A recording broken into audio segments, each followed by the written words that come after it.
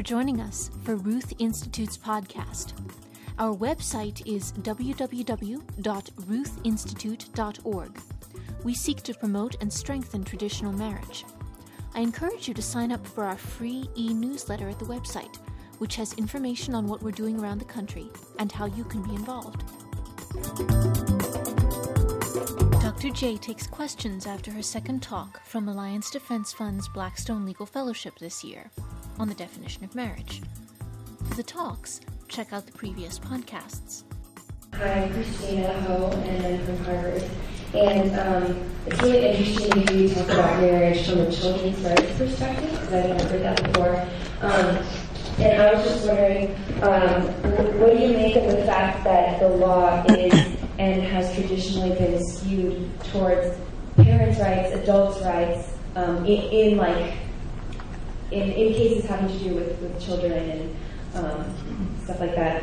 Uh, and do you think that you know, in order to start framing the debate more in terms of children's rights, we, we need to do more to promote children's rights, or do you think there are good things about favoring adults and parental rights um, that could be lost That's a really interesting question. It's a really good question. And the first thing that I would say is that the, I think the rights language um, is not a good language for what we're trying to get at here. You know, it, we're almost driven into talking in terms of rights, but um, but it doesn't quite do the job, I, I think. And um, you know, maybe some of you guys can work out exactly why that's true.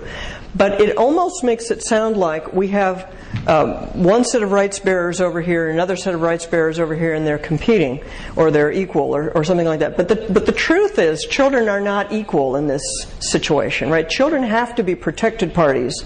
And so we recognize that they have rights because that's part of what we're trying to protect.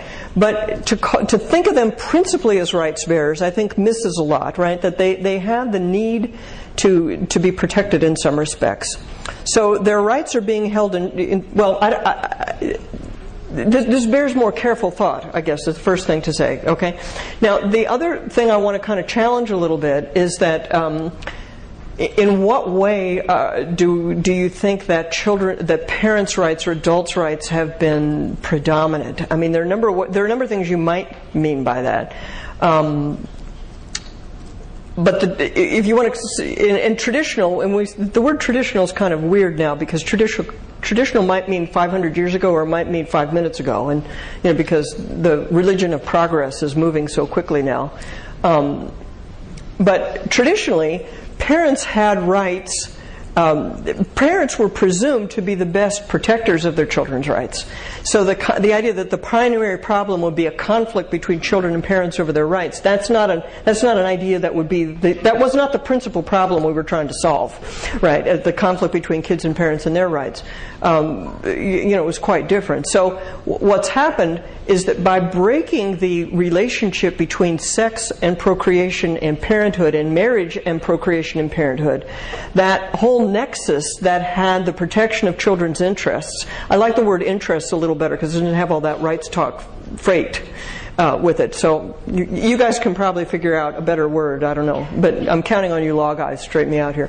But um, the, the, it, it, was designed to protect their interests uh, and their leg- legitimate interests. Um, but but it saw the family as being something that was a unified whole you know, and not something where the principal problem is that the members of the family are at each other's throats. That's, that's the secondary problem. And what has happened um, in the last 40 years or so is that under the influence of Marxist analysis, really, um, conflict inside the family has become the primary thing that people worry about. Okay, and, and here it's, it's I, I think I have to point out to you that, the, that, um, that Engels, for example, and, and Marx and these people, they hated the monogamous family. They hated the family. They hated marriage, monogamous, lifelong man woman marriage. They hated that as much as they hated private property because they saw those two things as, as intertwined. And so, in their, in their um, you know, th- this book that they wrote in the 19th century, I forget the exact name of it. Anyway, um, he, he literally says, um, the wife is the proletariat and the husband is the bourgeois. And we're never going to have freedom until we get the wife out of the home and into the and into business until and then he sort of blurs over what's going to happen to children. You know, where they're going to come from, who's going to take care of them. That all's kind of, you know. And so what's happened in modern times is that um, this justice inside the family and conflict inside the family, all of that has taken over as the primary concern of a lot of family law people who are influenced by Marxism. And I think that's not right. I mean, I think to, to start with the premise that everybody inside the family is in mortal, locked in mortal combat with one another, I mean, that's just wrong. You know, there's just no way to, to start your analysis. And I think that's where, I think that's where a lot of people are. Family law is a mess, you guys. Family law, intellectually, it's a mess. That's my outsider's opinion. Hi, my name is Nicolas from Peru. Um, in our country during the 90s, the administration of former President Alberto Fujimori applied a group of, a group of policies uh, of forced sterilization against indigenous women. And the uh, great argument was that the uh, natural dynamic of procreation within marriage uh, collision with uh, public interest that the state doesn't, didn't have money to provide education and uh, well education to the children. So do you think that that could happen? You know that a basic dynamic, dynamic of family could collision with a public interest. And in that case, uh, what should be the limit for the state to uh, regulate the family Okay, let me make sure I understand what you said because I, I, I didn't quite catch the first sentence. Are you telling me that in Peru there are public policies that are designed to limit fertility?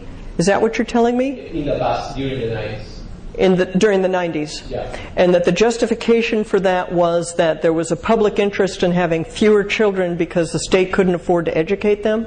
Yeah. Is that it? Is that policy still going on? No, not anymore. Okay. Uh, let, let me just say the state has no interest whatsoever in how many children anybody has. State has no legitimate interest in that at all, period. Okay? It's none of their stinking business. Whether you have two kids or ten or none, it's none of their business. Okay? And so those. Was I clear? Okay, so those kind of policies have gone all around the world under different guises, but they always start with one thing. They start with the, the, the, the claim that the state can't afford to provide service X, whatever it is, whether it's education or welfare or whatever. The state, first of all, takes onto itself the responsibility that actually belongs to the family, which is it's the family's responsibility to educate children. It's the family's responsibility to feed children. So the state, first of all, takes on itself the responsibility that properly belongs to the family, and then says, we can't afford for you to make these decisions because we're paying for them, so therefore we're going to turn around and control your fertility. This is completely wrong. Okay? It's completely wrong. And it is the price. This is the price of the welfare state. This is the price of it. If the government is going to provide these kind of services that are, in fact, properly the business of the family, if they're going to do that, they're going to take for themselves the right to say, we get a vote on how many kids you have. And that is, that's what happened in the United States, not quite in the same dramatic form, but, but nonetheless it happened in the United States too. Title 10 that, that, went into place in 1970 was the first policy really that where the government said we need to have a lower birth rate. You know, where the government said we, we have an interest in this. Well, it came right on the heels of expansion of welfare rights. And, uh, and, and so the government took on itself the responsibility of paying for the you know, paying for different things that have for, for poor people and then saying, well now we have the right and the duty as a fiscal responsibility, we have the duty to limit people's family sizes. And you know that is a bum deal. You know that that's that is a that is a bargain people should not accept. That the people of civil society should not accept. So that I, I that that dynamic has gone on all around the world, and I think it's just wrong. I'm Stephen Petrani. from Yale University. Um, first, I just want to thank you for that. That was really a great presentation. Thanks. Um, a lot of the facets, not all, but several of the um, facets of your argument and evidence uh, depended on a negative view of certain things. So, for instance, you argue that it's going to increase state control or lead to three person parenting arrangements. And when arguing, debating, dialoguing um, people who are for the redefinition of marriage, I think, unfortunately, some of these things they will see as not only irrelevant but actually bonuses. Right. That if they can get the state more involved, right. they can get So, what would you say? I mean, basically, what would be your response to that? How would you deal with someone whose worldview was such that those were bonuses, not detriments? Well, that's a good question because those people will always be with us. You know, people who uh, you know who have a fundamentally different view of the world, so that you know they think having three parents is good or something like that. I think in that case, then then you're you're um, you're put back to the fact that you're going to have to argue on those too. You're going to have to talk about why having three parents actually doesn't make sense, why that isn't really good for kids, you know, um, and, and why and why it's you know an unnecessary complication and um, and uh, very unlikely to be stable. Very unlikely to be stable. You know, I mean, what in that particular case. And see, so we're, we're in, in, this the way you put up your question here, we're kind of forced back to argue on a case by case. You know, whatever it is that that makes their heart sing, you have to somehow deal with it.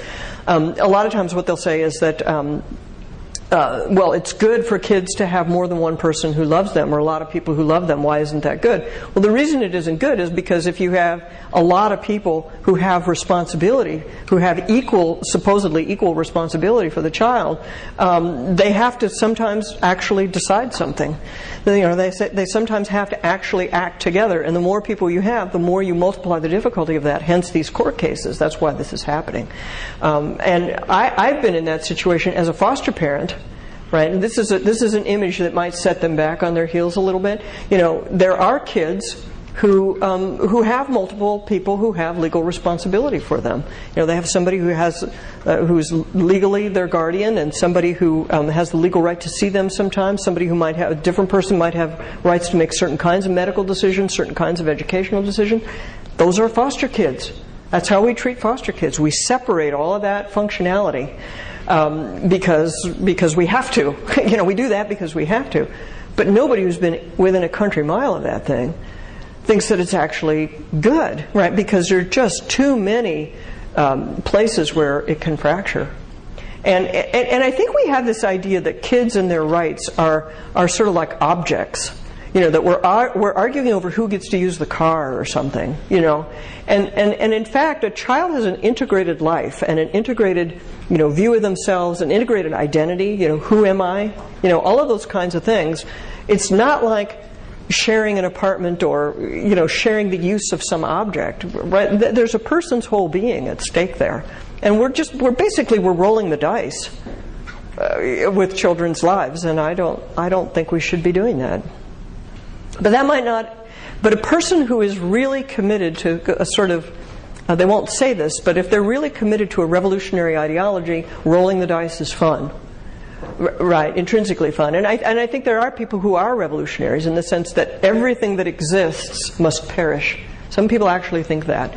Um, so if you're dealing with somebody like that, I think your best hope is that if there's somebody around listening to the argument, um, that you're actually talking to them rather than the person you are ostensibly talking to.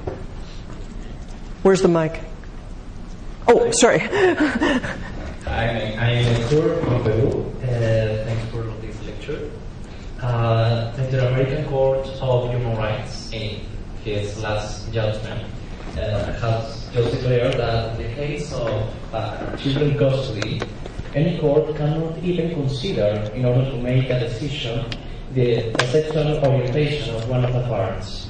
Uh, I just I just want to know how can we argument that the best interest of the child is more relevant than a right to the sexual orientation of, of, of the parents. Can I just uh, clarify this right. decision? Can I just uh, clarify this decision? Are they saying that uh, the natural parent of the child is is gay, they're, they're not allowed to consider if the natural parent of the child is gay, that that can't be a consideration. Is that what they're saying? Yes. Uh, the, the court says that in the case of children custody, uh, that, that court that is deciding cannot cons- even consider that if one of the parents is gay, for example.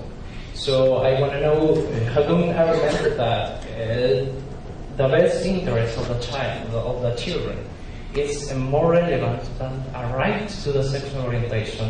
Uh, how the best interest of the child uh, is affected with yes. orientation, sexual orientation of one of the parents.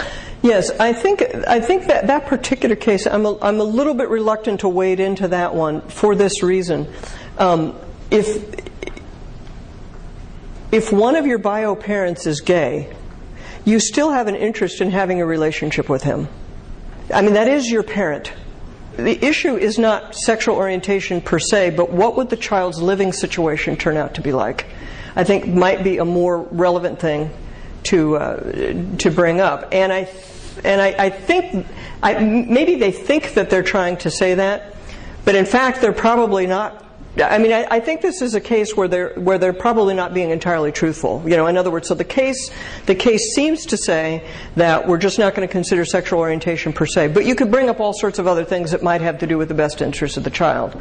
But in point of fact, um, if, if one of your parents is gay, you may in fact be living in a situation that might not be very good for you, right? You know, if they're living with an open, in an openly gay relationship and you're going from, you know, one house to another, all of these cases where you're going from one house to another, that, that's always hard for kids and we should always be, you know, worried about that. Because these cases that I think you're talking about is should the mom who's straight have custody versus the dad who's gay?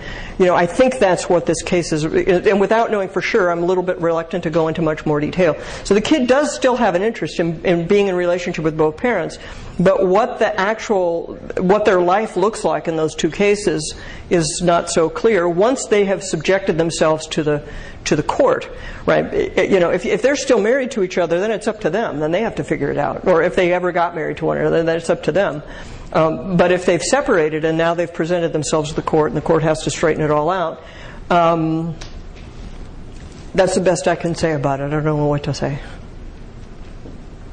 Where's the microphone? Yeah. I'm Tomás Garzado from Argentina.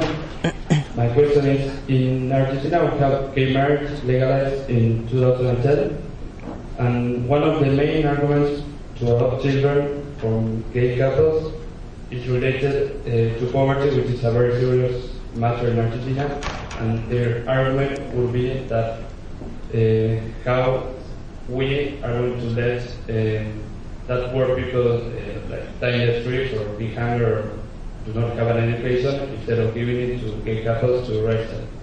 What would be your argument to answer that? I'm sorry, I didn't understand the question. Can you say it again? I'm confusing. I think he's saying they have so many poor kids in Argentina. It's uh, you would force them to stay on the streets and be is that rather than allow them to be adopted. Is that is that what it is? I see. Okay. Do you know uh, we've we've heard variations of that argument in the United States. We've heard variations of that argument in the United Kingdom. Okay, and the problem with that argument is uh, well, there's two problems with that argument. First of all, uh, poor, vulnerable children who are wards of the state deserve to have the best that we can give them. We should not be experimenting on the poorest, most vulnerable children in society. We already know that man woman couples, uh, married couples, married to each other, are the best for kids. So we should not be experimenting on kids when we really don't know what same sex couples are about. Okay, so that's first point. We should not experiment on the most vulnerable, vulnerable people in society. Second point is that in the countries where we've heard this argument, um, the, the argument seems to be we, right now we have a certain number of people, a pool of people who can adopt. And so we're going to expand the pool by letting gay people join the pool, right? That's basically the argument. The problem is, at the same time they do that, they create rules about how gay friendly you have to be as a foster parent. And sometimes, and I don't know, I haven't heard it on adoption, but foster parent for sure that if you are not willing to certify that you uh, agree with the state's position on homosexuality, you're not allowed to be a foster parent anymore. This was a very celebrated case in the United Kingdom, okay? And it has happened, in effect, with the adoption agencies in the United States being shut down. So what that means is that you're shutting out Christian participants out of this uh, market, and so you're contracting the pool. You're letting in the 1% of the population or less that is both gay and interested in being uh, adoptive parent, but you're excluding the serious Christians from your population, which I should think in Argentina would be a pretty substantial group of people who are going to end up being excluded. So the argument, in fact, It's one of these things that sounds good if you look at the first step, but if you carry it out to the whole implementation of the policy, it's not good at all. And that's exactly what they're dealing with in the UK. And that's what we're dealing with in a sense in the US because we've been shutting down Catholic adoption agencies because they won't place kids with same sex couples. Nobody has ever shown that kids are in foster care or, or unadopted longer because Catholic charities wouldn't give them to a gay couple.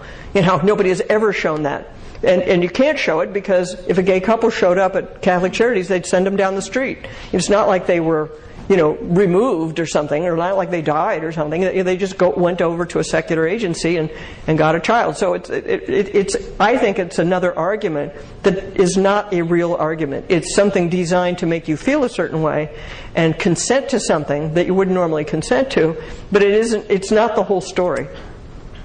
The argument is papering over you know, very, very important distinctions and very important um, long-term, long-term consequences of the thing.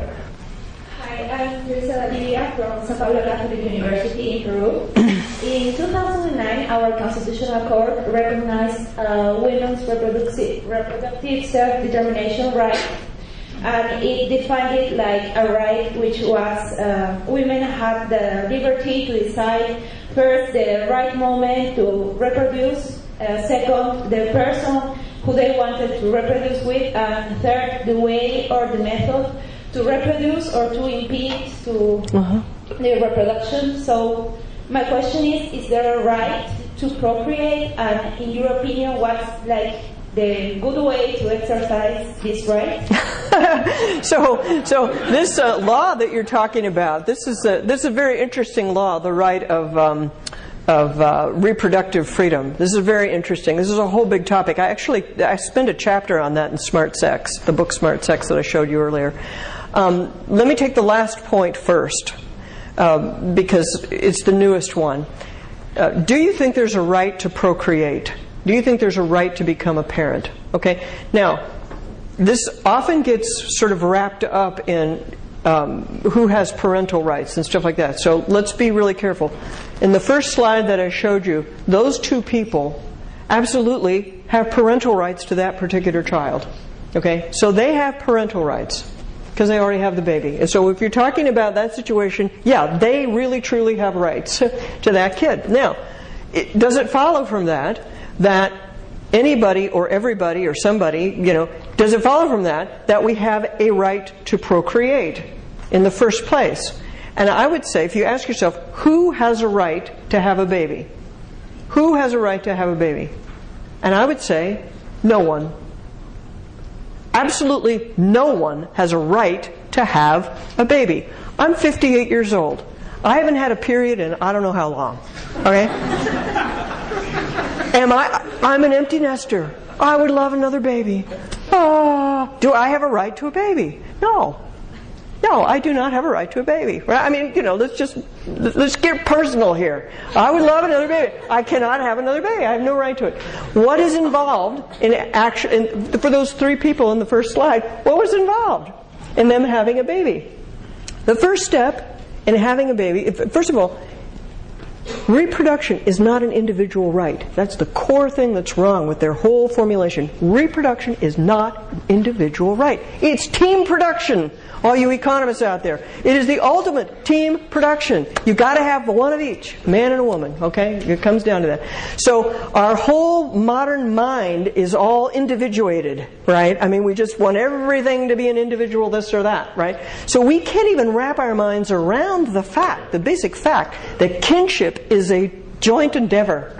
We can't even think about it. Our, all of our mental categories kind of go haywire, right? And that's part of what we're dealing with. That's part of the problem that we're dealing with. We're trying to overcome, we're trying to overwrite a program that, you know, is not appropriate for what we're dealing with here. So what's involved in having a right to reproduce? Okay?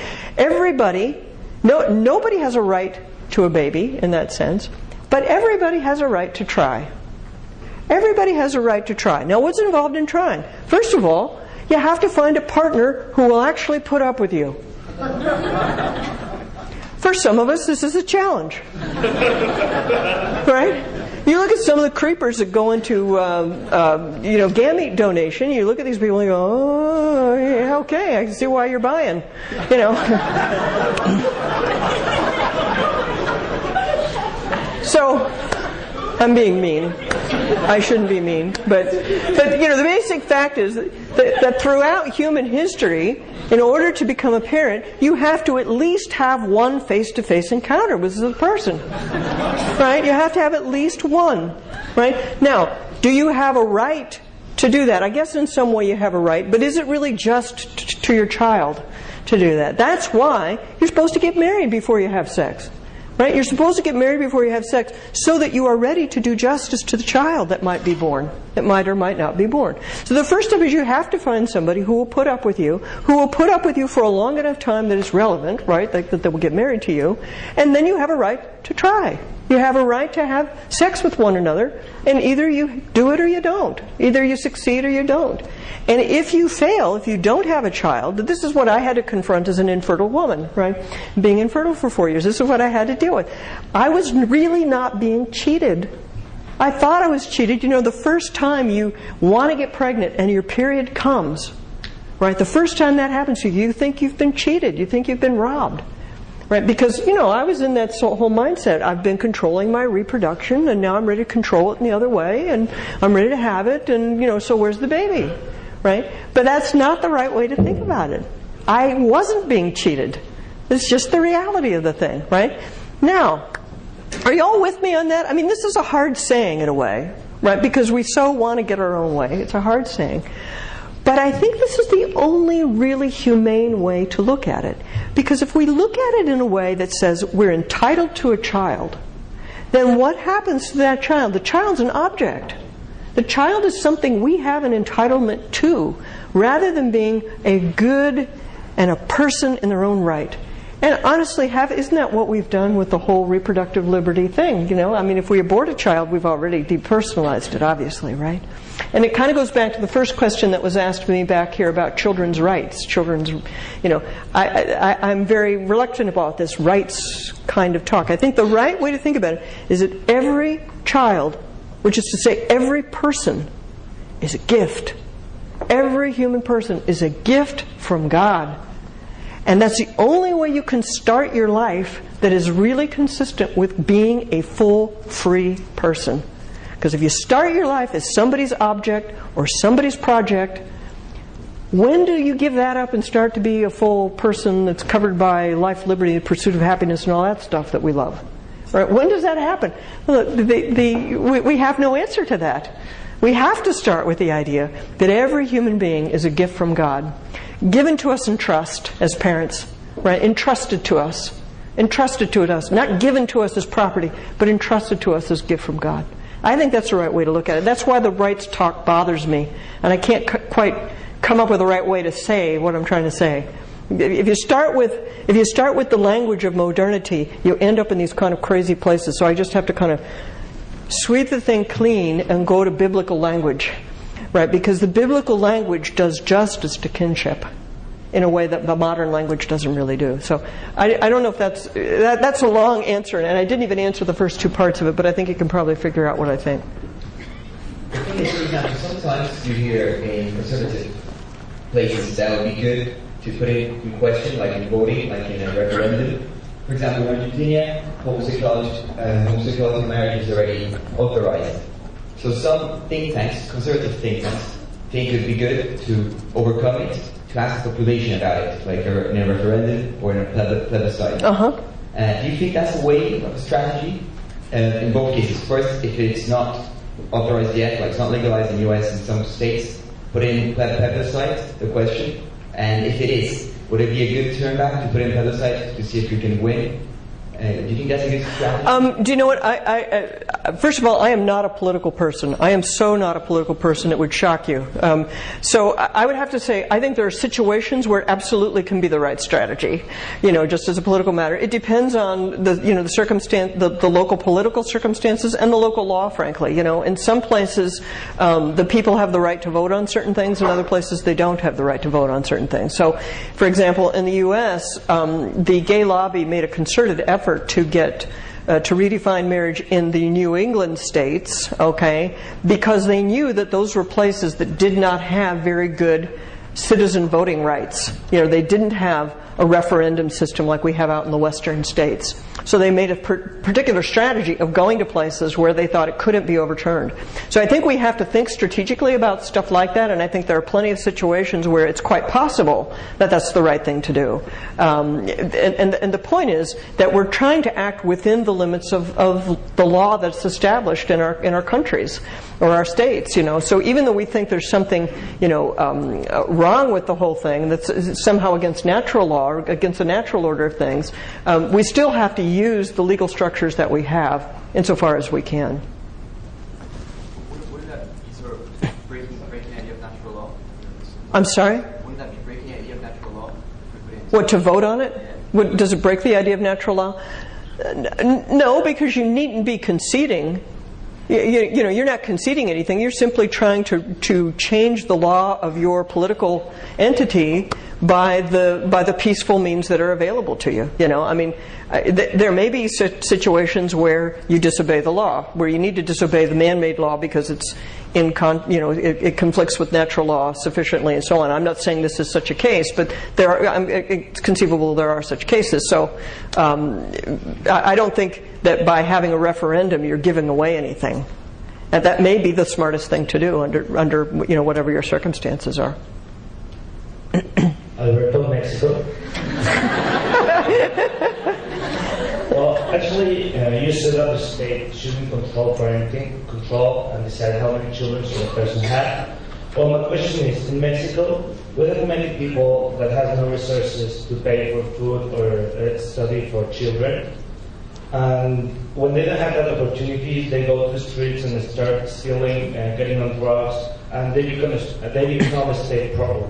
So if it's not a state problem in the first moment, and then it becomes a state problem, how can you avoid that if it's not by parenting control? So are you saying the children become a state problem because they're not taken care of? It's not a problem uh, of 10 years or 15 years. When they have like 5 years or less, they start getting involved in the streets with drugs and stealing uh, with all the gangs. And we see that a lot. Okay, so are you saying if you have fewer children, if you have smaller family size, that won't happen? No, but you could uh, start uh, getting less people at the street, less children, because that families without resources have lots of children. And I, I don't agree that you should control it. But what other solution could you have if it's not that? Well, look at the, the, the problem of poverty is a real problem, whatever your um, population policies are. I think that there has been a, uh, a, a very deep mistake in thinking that population control is somehow the solution to poverty it's one of those things that looks good on paper, sort of. You know, it seems like it makes sense because, you know, if we only have two kids in our family, um, then we don't have to pay for as much, and it seems like it, it seems like it makes sense. But globally, it turns out that it, that it doesn't really make sense because what we end up having is more kids being born out of wedlock. I'll bet you a lot of those kids that are out on the street, their parents aren't married to one another. This has been one of the long-term consequences of attempting to control, of attempting to separate procreation from sex has been an increase, actually an increase in kids born out of wedlock. So there's many factors that go into it. So I don't accept the basic premise that uh, that that population per se is a cause of poverty. I don't think that's right. Um, and, and, by the way, this is a good time for me to mention. Somebody asked me at the break about this um, movie called Demographic Winter. Um, this is a whole very interesting topic I haven't had any chance to talk about. But um, the fact is, the population is falling around the world the, or sorry, fertility rates are falling around the world.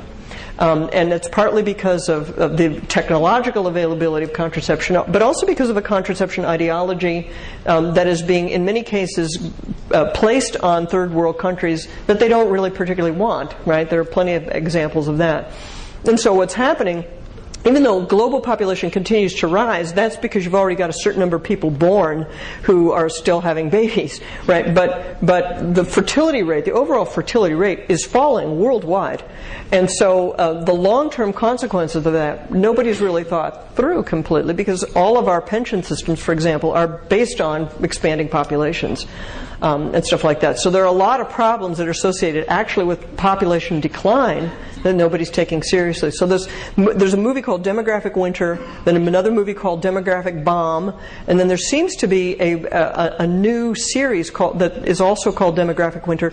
I was interviewed for these movies when they came out, or, or you know when they were first making them, and so I'm in a couple of them. I don't even know how many of I'm in because they they take this footage and then they take it back and you know, they're making more movies out of it and stuff, and my hair's all different, so you might not recognize me. And my lipstick's terrible, so that's really awful. But anyway, anyway, that's a, that's a serious problem, okay, the whole population issue. That there are still people worried about overpopulation um, and thinking that population control is the solution to poverty. That's, I think that's been bypassed. That's been bypassed by events. We still have an obligation in justice and in Christian charity to address poverty right? And and uh, to say we're going to deal with poverty by get, getting rid of the poor people or making it harder for there to be more poor people, that's really, I think, stepping away from the ultimate responsibility that we have to deal with poverty. Yeah, where's the mic? I guess I'm next. I'm John Westerkamp from the United States. All right. Indiana. All right. And, uh, one of the earlier slides, Judge Walker was talking about how marriage, sort of looking at the Institute of Marriage through the lens of a joint economic partnership. Yes. And my question is, if the state's interest is categorized as an economic interest, will the state then go into a question of a marginal cost, marginal benefit analysis, and where will that be? Um, you know, if the state sees itself, I, I, that's an interesting question. In other words, if the state defines its interest in marriage as being somehow to optimize people's economic stuff, uh, and, and that that's somehow going to happen differently from contracts, right? The marriage is somehow a special set of contracts. I'm not sure what that would look like. I think the more likely danger of Judge Walker's definition of marriage is that people will come to the conclusion that there's actually no point in marriage whatsoever. Because what Walker's got there is basically a government registry of friendships, which is completely pointless. There's no public interest in those relationships that, as he's defined them. There's no public interest. So why not just get rid of it? Um, and, and if you do that, then what you're really doing is completely disassembling the institution of marriage and all of the institutional structures that it provides for helping people to structure their lives and stuff. That's all going to be gone. And I think the reason there are a certain set of people who like that is we we have a very um, strong streak of anti-authoritarianism in our culture, of antinomianism. You know, uh, do you know this word, antinomianism? Being against law as such. It's not just that you're against unjust law. You're against the idea of law. You're against law as such. We have a lot of those people in our culture, and so they have the idea if we can just take away these different laws and these different structures, we'll all be happier. Um, and they don't realize that lawlessness has some constraints of its own. Thanks. You've just been listening to Dr. J taking questions after speaking at ADF's Blackstone Legal Fellowship. To hear her talks, check out our podcast stream. Our website is www.ruthinstitute.org, and we're also on Facebook. Like the Ruth Institute or Dr. Jennifer Roback Morse pages for updates. Our podcasts can be found online at ruthinstitute.libsyn.com and iTunes, and as always, they're under a Creative Commons license. If you've enjoyed them, please share them with friends. The Ruth Institute is a nonprofit educational organization devoted to bringing hope and encouragement for lifelong married love.